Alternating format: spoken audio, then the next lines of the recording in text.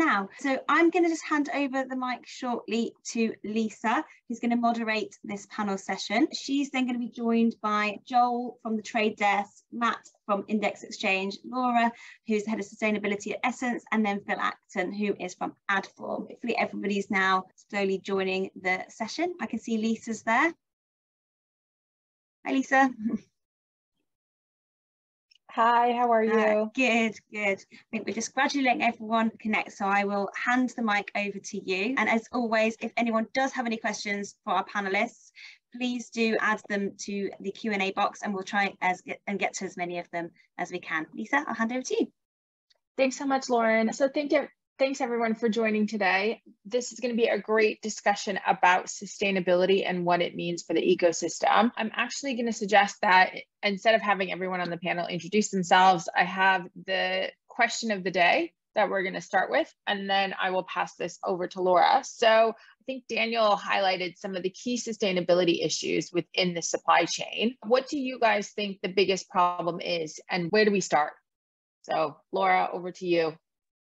Hello, I'm Laura from Essence, and I am, full disclosure, a head of sustainability and not a programmatic expert. so I'm just going to caveat that here now. I think in terms of our biggest challenge, I think Daniel's highlighted it really, isn't it? It's the complexity of it all and it is the lack of transparency. I also feel there's probably a mindset shift as well because I think previous previous initiatives such as brand safety has, has seen publishers feel like they have taken the full weight of the sort of commercial impact of those sort of initiatives so it's making sure supply chain transparency is about collaborating with your supply chain and working together to identify how everyone can create value out of a new supply chain and create new principles and work towards that. It's not about one party in the supply chain dictating a set of principles and rules. And I think that's probably the biggest challenge that we have because we do need to come together and collaborate. We do need to have a level of trust of why we're all collaborating. And fundamentally, we need to all galvanize around a consistent methodology in terms of measurement. So I feel like I've said a lot of challenges rather than one big challenge, but I think they all end up being the same challenge in the sense of we, we need to probably change the way that we all work together uh, and start from a base of collaboration and aligning on what we are trying to achieve, which, which ultimately is decarbonisation. Because for advertising to have a role in a net zero society, we need to make sure that we are fit for purpose and we're not wasting the energy that is so valuable a resource. Definitely. I love the idea of collaboration. Joel, over to you. Hi, thank you, Lisa. Hi, everyone. I am Joel. I am the Senior Director of Partnerships for the Trade Desk, so looking after our SSP and publisher relationships and that is the ones Laura says we should be collaborating with. So yeah, I completely agree with what Laura said and what Daniel said before that complexity from my perspective and in my role, the complexity of the supply chain is the big challenge to tackle. I perhaps slightly disagree with Laura, but it's very slight. I don't think we're going to have a fight about it. I think different entities, and not one entity, should set the rules, but someone needs to initiate the rule setting at least. And we have certain rules. We won't buy one SSP via another SSP with whom we're integrated. And that is for the direct benefit of our clients because you're not paying for an additional hop. There isn't an additional party taking a fee, but it also that supply chain transparency and the efficiency of the supply chain, the optimization of it should reduce carbon emissions. And I think that sort of situation, the double-edged sword of it is, or double-edged benefit of it, is at the core of how I personally view we should approach this. Is that yes, obviously getting to a carbon neutral position as an industry is absolutely key. But and speaking to my wife who actually works in the sustainability field, you have to give other benefits to people. An individual might be altruistic and might choose to do the right things, but many corporations, many investors need to see the carbon benefit and the financial benefit for them. So if we can tackle both at the same time, we'll get more people's attention and we'll make change much faster as well, I would imagine. Definitely. Matt, over to you. Hey guys, great to be here today. My name is Matt Barash. I lead the Americas at Index Exchange as well as our global publishing business. And I'm joining you today from London, where it's a beautiful day and excited to be here. I think you guys touched upon a million different points, probably all of which I would have checked the box on mentioning had sequence been different here. But I think really the advertising business has always been about art and science. And this is the redefinition of science in some degree, in some respects. And so when you think about the advertising business today relative to where it was probably when we all began, it's really complicated. It's really complicated. And the recurrent theme that I'm hearing here is how do we simplify that? Right? How do we get back to an industry that is perhaps more value driven, less less influenced by a number of parties that perhaps are there to make a buck rather than influence change. And change can be an industry level. Change can be because it's driving the economics of the industry. Change can be because it's driving practice and standards. And I think that comes back to when it comes to sustainability, what does it all mean? This is a nascent concept. This is something that two or three years ago probably was foreign to most of us. And I think today, when you look at a global level, and I live in the US, I'm sitting in Europe, I run a global business. I think there's a there's a real need for education. And so, who actually begins that process? I think you've seen, I'll bring up his name for the first time, Brian O'Kelly, right? One of the most polarizing figures in this space. He goes from being a ruthless CEO to a virtuous CEO. And all of a sudden, this becomes a really relevant conversation. And when you think about what that means, I think sitting in Europe today, this is a really relevant conversation. And in certain, as you start to dive deeper in certain regions within the continent, it becomes a more relevant conversation. And so it's a right now conversation. And we all know it's a right conversation. But I think the real big challenge here is all around the world, it's a what's that conversation. And so, how do we define what that means? And once we do that, we start the ball rolling. Thanks so much. Phil, over to you. Yeah, hi everyone. I'm Phil Acton from Adform, and not PwC as it said on the uh, on the opening slide, but delighted to be with everybody. And uh, if I'm going last, but it's always a bit of a challenge with what everybody's said. I think in terms of how I can add to that, I think in terms of what we need to tackle first in fraud, viewability, the weight of ad creative, and so on. I think it's all of those, and it comes down to trust. And I think again, continuing on that theme of, of education, because I think if you look across the whole of Europe, there's a nation that's local to the markets or whether it's coming from the EU that's really trying to put blocks on advertising as a whole as though we're, a, we're an industry that doesn't really add value. And I think that Daniel did a great job before taking us through a load of data, but actually a couple of days ago, he did a podcast on this with James Chandler in the UK where he said some of the pressure coming from the EU Commission was for online to say stop using targeted advertising, where that it was a full-on strategy. Yet in other sectors, the EU is actively promoting personalization as a sort of a holy grail of offline and, and or content strategies. So for me, targeted advertising and personalized advertising are the same except for the wording. And it's perhaps because the government are under pressure from from lobbyists and consumers who are, who are at, the, at the end of the day are those that use the internet I think we need to always not only educate ourselves, but as Tanya from Show Hero said at the start of the webinars, we need to educate more people. We need to explain to them why we're trying to clean up the supply chain, educate the consumers as we go. Then naturally, things like fraudulent impressions, using proper viewability metrics, ensuring as much spend goes from brand to publishers as possible, choosing the most routes, and of course, the environmental impact of that because we're reducing ad wastage, so preventing lots of heavy, bad for the environment banners. I think that's the kind of thing that the average internet user wants to see and wants to hear about. So I think it's great that we talk about these initiatives and people talk about Brian O'Kelly and so on. But we need to educate everybody outside of our industry as to what we're doing and why we're cleaning it up. And I actually think that will have a knock on effect from some of the pressure we get with regards to legislation. Definitely. Thanks so much, Phil. What does sustainability in the supply chain actually mean, and how do we think we can achieve this? Joel, I'll start with you. So, I think sustainability in the supply chain just means understanding the environmental impact, first of all, of every single decision. And that goes from the people buying the ads, the planning at the beginning, all the way through to the end user seeing an ad on their TV, laptop, phone, or even an out of home billboard. It's not easy, and I know we'll come on to talk about that later. Um, but you need to look to solve all of that and that's obviously sounds like an absolute nightmare. I think the approach just has to be systematic and pragmatic. You just it's like when i have two young kids when i have to tidy a room i walk into the room and feel like i'm going to cry but you just have to start at one end and work your way through to the other end. And that's what we've got to do as an industry. We have we have as not just an industry but as an entire global population been behaving like little kids and just chucking our mess around everywhere and not thinking about the consequences of our actions.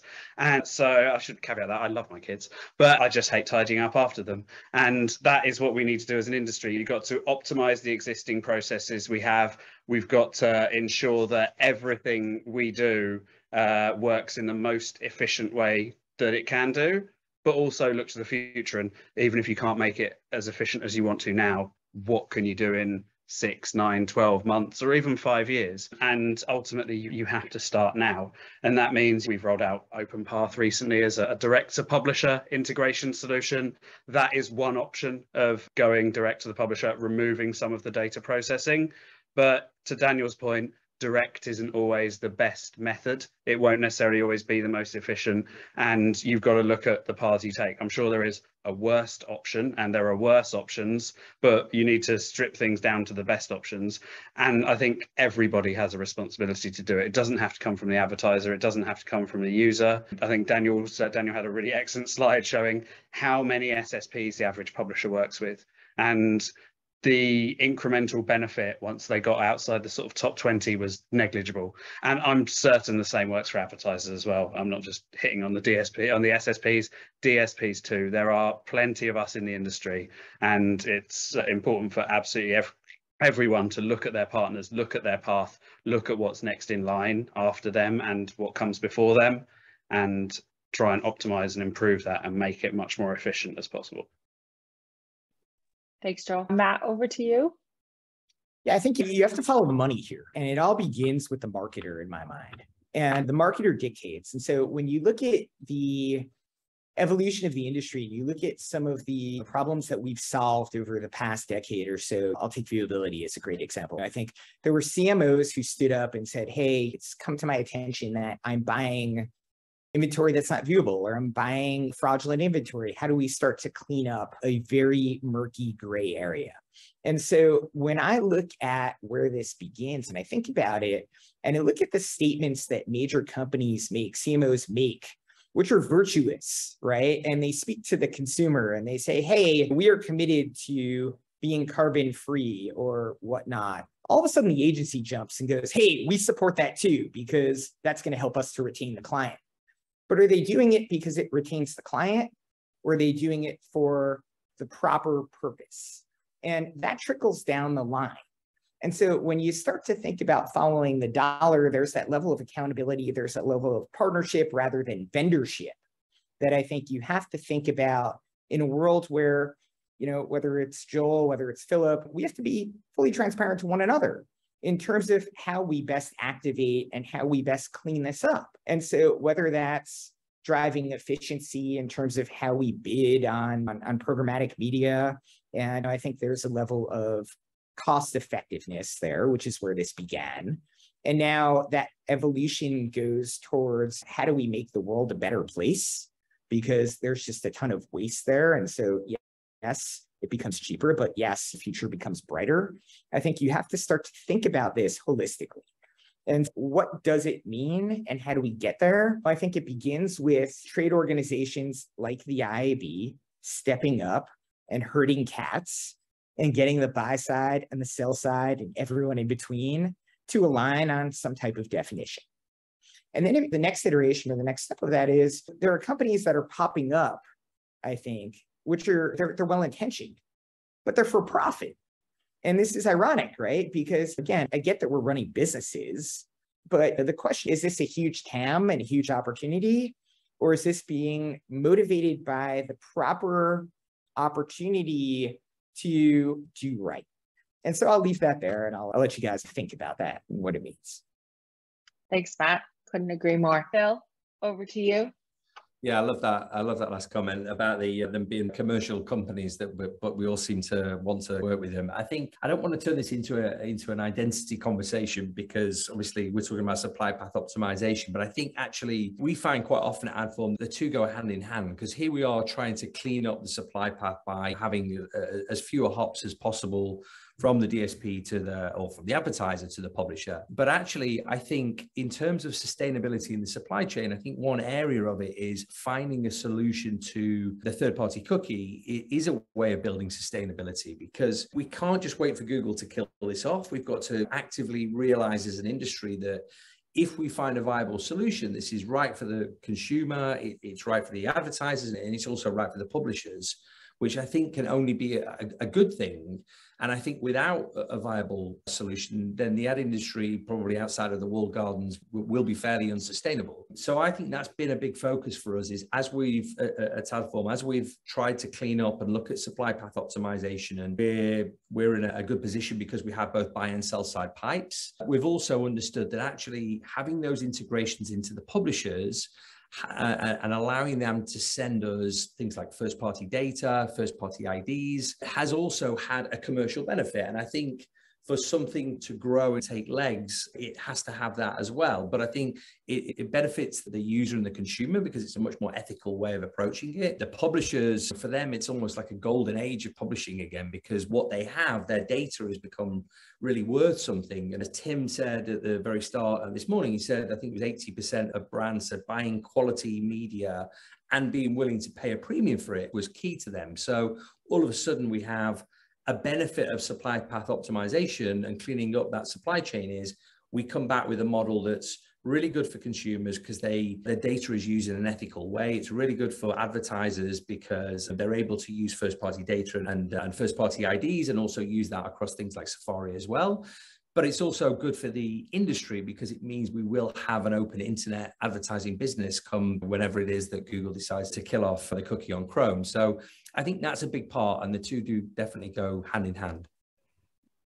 Thanks, Phil. Laura, I know that at the start of this, you said you're the sustainability expert, not the programmatic expert. How do you think that we as an industry are tackling some of the issues that the guys raised? And have you actually seen any best practices? I think, not to be controversial, but I'm okay with new people entering the industry with new tools and technology and making a profit from it because sustainability is about creating a thriving economy and society for all now and forever. And actually, I think it's more for the rest of the industry that we were so behind the curve that we weren't thinking about this and bringing out our own initiatives. So I think as an industry, we're behind versus other sectors, which probably is why the trust issue is not there as well with consumers because we need to get our own house in order. And I also feel, in terms of what best practice looks like, I think it's about having verified commitments. So, just as WPP have committed to science based targets and having net zero media plans by 2030, that is a requirement that's going to cascade down the supply chain because we cannot achieve that without having all of our suppliers and partners aligned with net zero. And I want to be really clear that net zero is not the same as carbon neutral. Again, circling back to our point about education, I think it, there's a few quarters that are using those terminologies interchangeably and they're not. and again, we need to educate ourselves and bring it to the fore. I think in terms of best practice and what I've seen out there, I, we're like we're all, and I know this is a big cliche, but we're all at the start of this conversation. I avoided saying journey there, but I, I think, and that bringing it back to the topic that we're talking about, trust and transparency. I think we need to embrace that and be willing to admit that we're at the start of that. No one has got one silver bullet that's going to solve this for us. And actually, we need to, and that's why the commitments are so important because we need to align on what our commitment is. What is our end goal? Our end goal is decarbonisation of, a, of the ecosystem and that definition already exists what that means is how we're going to get there and the consequences are of that there'll be some winners and there'll be some losers And it's then how do we set ourselves up to be how do people suppliers set themselves up to be the winners of that scenario? I don't know if i'm answering your question now but i just in terms of best practices i think there's interesting technology out there like glimpse in terms of addressing the amount of energy that's being generated in header bidding. I think a really simple way of thinking about it is if data is energy and energy is carbon identifying wasted data, wasted vanity data. So heavy creative, for example, that's going to be viewed on a mobile phone. Is that is that necessary? I think the opportunity for streaming digital formats to reduce the carbon footprint is an easy win that we can all imp- implement now. And yeah, just being able to, for me, it, it is using Scope 3 at the moment to measure what the carbon footprint is down to the impression level and see what's driving those emissions. Wasteful ad tech, old code that's sitting on domains, all of these are it's all of these are best practice in terms of efficiency as well. It's it's it's really about operational efficiency for everyone that's in the supply chain at the moment. For me, would be best practice as a baseline, and then we can move forward in what reduction really looks like. Yeah, definitely. Thanks, Laura, for that. So I know you talked about a bit on the measurement of the impact our ecosystem has on the climate, but let's talk about an even bigger question of how does that work and who funds it? Joel, I'll start with you. Yeah, I'm happy happy to start here. So I think it's the funding part is challenging. There's a lot of big companies who can afford to fund it themselves but it, our industry is built on startups. Even Google and Facebook were startups within. I'm going to take a risk here and say the professional memory of everyone on this call, and we uh, we can rely on Google, Facebook, and Trade Desk and the big agency groups to fund it ourselves. But ultimately, we are really the ones generating it, so we should be funding it anyway. I think it it needs to become an inherent cost of business that you have to do this because it's it's just it's what we do. We are all generating significant amounts of emissions.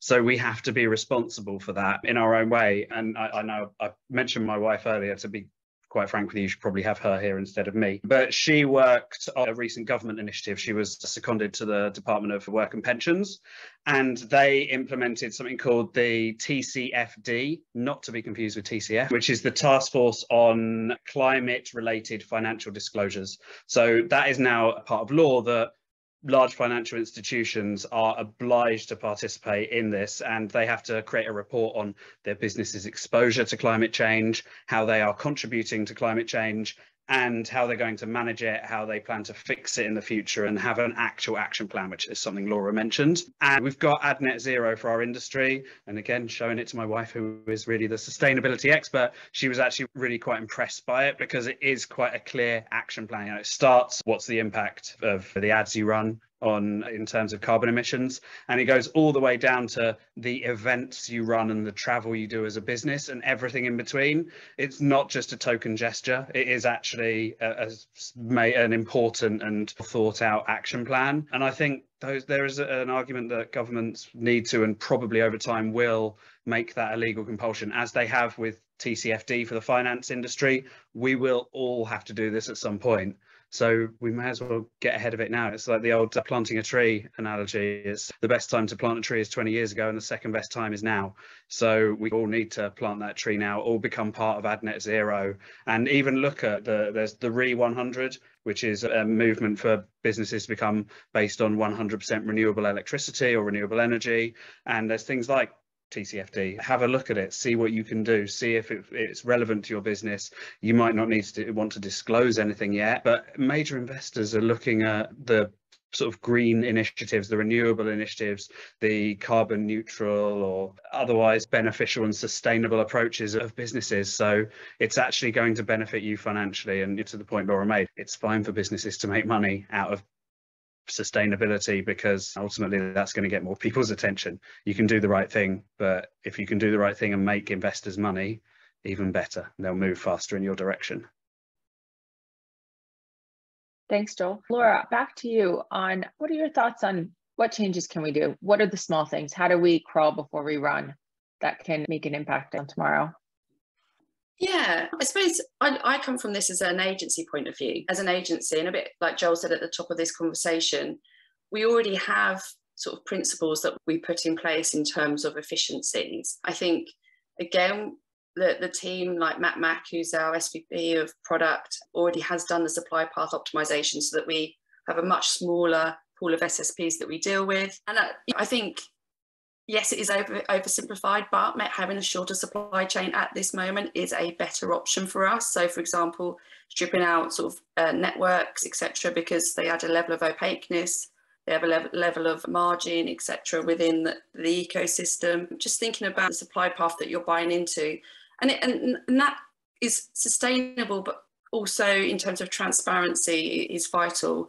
I think thinking about how your creative is running, like I said, thinking about how you're delivering that creative, streaming versus the traditional download, and just ensuring that you've got some best practices in place. Turn your campaign off when you hit your KPIs. Don't just leave it running. like, as an agency, there's some really basic best practices that, again, coming back to what is waste and what is vanity, and ensuring that you're hitting your KPIs as efficiently as possibly as possible is what we should be doing now. And for me, I think the focus over the next six months has to be measurement. We everyone needs to know what their carbon footprint is of their business and have an understanding of that and where that is being driven as well. Is it your travel? Is it your offices? If understanding where your biggest carbon hotspots are is critical. Is that is that? Yeah. Yeah. I think I those think, are um, from, from a trade desk perspective, like we've seen, my, my colleague Ben started a group called We Sustain within the trade desk, and it's you have to start things sometimes at, at, grassroots and push for leadership to do things. We didn't have to push they already had things in work thankfully. But you need people in the business to be engaged. It can't just come from the top and the measurement side of things that laura's mentioned is absolutely key but also just getting people engaged on, on a more personal level. We went out as a group and did a litter pick along the thames and things and it's not going to make a vast difference but it just gets people engaged, gets a group together. It's a bonding activity that's perhaps more of a gesture than making a real impact, but it gets us together as a team and gets everyone thinking about the subject. And while we're doing it, we're talking about things like ad net zero and how we can measure it as a business. We're really brainstorming about the subject and leadership heavily engaged, I'm sure, in all of our businesses in this. But we all need to push at different levels and think about this at different levels and contribute at different levels because that's how you make change happen. Definitely. Matt, I think you were going to comment as well. No, it's so funny, Joel. You mentioned your wife and how she works in the space. My wife runs human resources for one of the holding companies. And when I said to her, I'll be doing a panel on sustainability, she said, Oh, we do all of these programs like the ones you just mentioned. And I think when I think about the term, it's so broad. And I think that's perhaps a beauty and perhaps a curse, right? Perhaps I think finding definition here becomes challenging, right? And, you know, where we're we're in a moment in time where there's very clearly been a roller coaster of a year in 22, right? Our priorities have all been shifting constantly.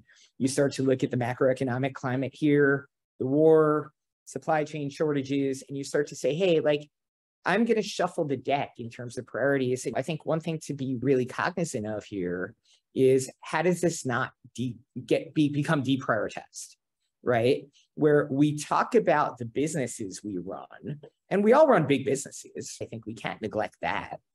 And we want to continue to run them, but we also want to change the way that we do so. And so, in thinking about that, how do you build this into the strategy? not neglect it because it's one of those things that you kick the can down the road and you think about, hey, like we've got to hit numbers for the next 90 days and we're going to be laser focused on that. But you have to really start to think about the right now and, and really build that into the priority set and the planning part and not just go, hey, when I think about supply chain and I think about the term efficiency and I think about the cost and QPS and the conversation that Joel and I had once upon a time as as partners and now i think that context changes and shifts away from the economics of qps efficiency back towards environmental sustainability. What is the additional cost that is incurred there? Or how do we start to think about that and drive that as a collaborative conversation so we're both aligned that if it costs a little bit more the end goal is actually worth it? Thanks matt. So phil did you want to yeah, I was just going to going back to I think the original question, which was about what small changes can we make. I think I think Joel talked about doing the the, the, the picking up the litter is almost like a token gesture, but I think those the journey of a thousand miles begins with a single step. So do, starting now and doing something now as individuals, this is great that we're sitting around debating it, but making sure that we then go away and we do something and we're not just paying lip service to it is really important. And I think as a large business, but with a, an office of say around 30 in the UK, we can do the same. We can ensure our office is a little bit more environmentally friendly, that we do the right level of recycling, that we don't leave lights on overnight and, and air conditioning and so on.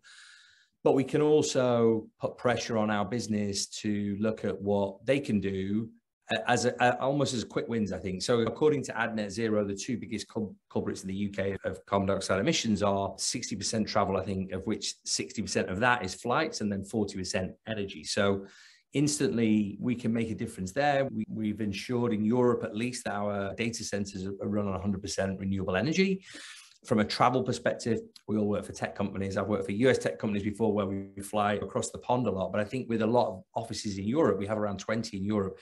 There's a lot of, or there was previously a lot of short travel, short haul travel that we did that were flights that we're now saying we're coming out of a pandemic or we've come out of a pandemic. Of course, everyone wants to get on a plane rather than do another Zoom call, but actually let's look at can we get the train instead of fly? Do we really need to go? Can we combine it one trip instead of three trips?